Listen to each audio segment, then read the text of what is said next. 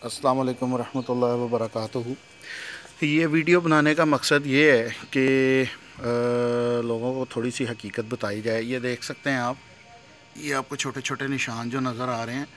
ये सड़क पे जो लुक गिरी होती है, वो गाड़ी पे चिमट गई है, जिसको आप इंग्लिश में रोड टार कहते हैं। और आप देख सकते हैं, ये गाड़ी जो है,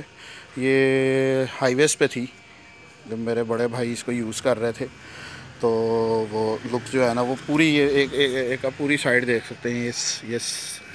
फ्रंट से लेके बैक तक पूरी साइड जो है ना इस पर बारीक बारीक जो है ना मैं क्लोज़ करके दिखा देता हूँ आपको रोड आ रहा है ये देखें ये देखें कितना ज़्यादा है। तो बहुत से लोग ये वीडियो बनाने का मकसद ये है बहुत से लोग ये बात करते हैं कि जी इसको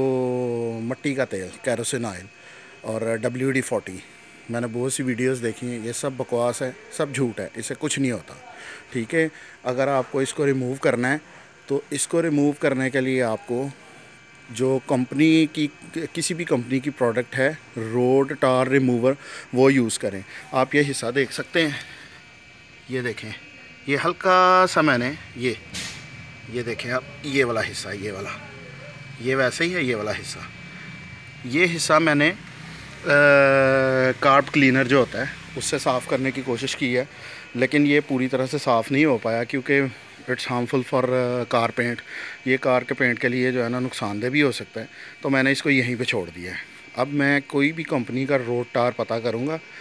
कि ये प्रोडक्ट कहाँ से मिलती है, वो लेने के बाद रिमूव करके मैं दोबारा एक नई वीडियो बनाऊँगा। Thank you